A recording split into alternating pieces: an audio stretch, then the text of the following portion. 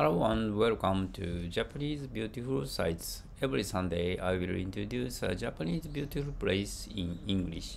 I'm your professor Mr. Doi and I'm making this video for my English study. Today I will talk to you about Enryakuji. Enryakuji is an old temple in Shiga Prefecture, Japan. It is one of the most important Buddhism temples in Japan and is known as the main temple of the Tendai sect.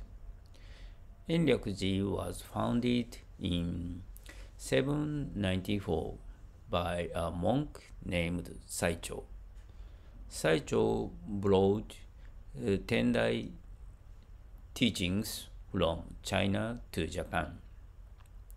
The temple is on top of mountain Hi Hiei,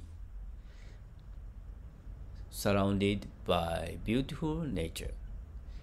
It is famous for its grand views and peaceful atmosphere.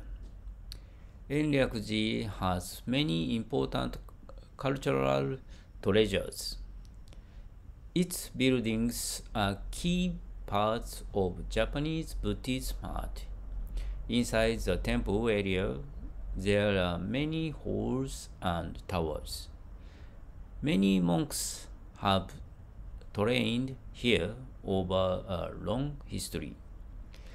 The main hall called Konpon Chudo and the splendid Golden Hall attract many visitors.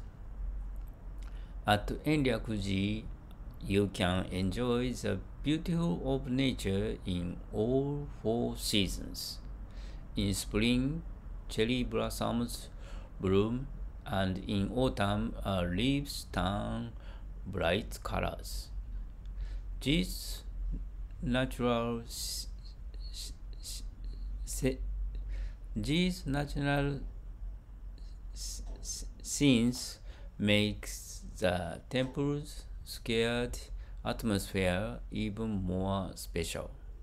The view from Enryakuji shows the beautiful landscapes of Shiga Prefecture.